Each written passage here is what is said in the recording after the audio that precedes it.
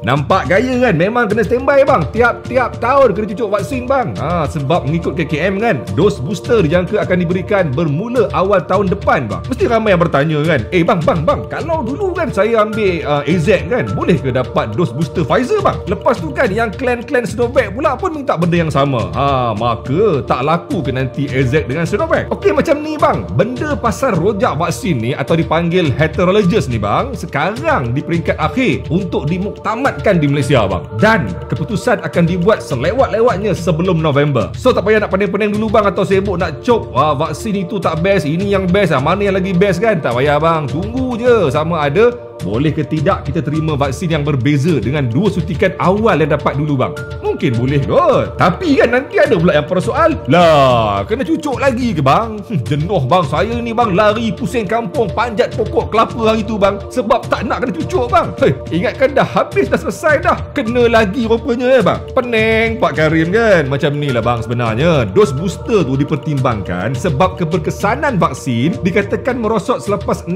bulan dapat suntikan lengkap bang. Eh sekejapnya kan? Sebab itulah Untuk to be safe Diberi booster shot. Melainkanlah Kalau kerajaan ada ujian khusus Untuk ukur kita punya immune system bang. So Kalau masih power lagi kan? Tak adalah keperluan Nak ambil booster-booster bagai ni bang.